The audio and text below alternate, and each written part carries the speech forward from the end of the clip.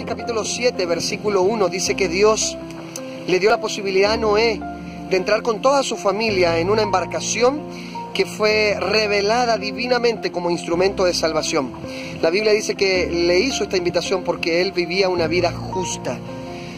Eh, cuando nosotros aprendemos y decidimos a vivir en concordancia con los principios de Dios, cuando decidimos amar a Dios por sobre todas las cosas, cuando estamos dispuestos a defender la verdad, no solamente traemos bendición a nuestra vida, también traemos bendición a aquellos que amamos. La familia de Noé es salva y, es invitada a subir a esta arca por el testimonio de Noé. Hoy te invito a que tú y yo vivamos vidas conforme a los principios de Dios, tomados de la mano de Dios, para que tú y tu casa sean salvas en Cristo Jesús. Que Dios te bendiga. Esto fue La Tuerca.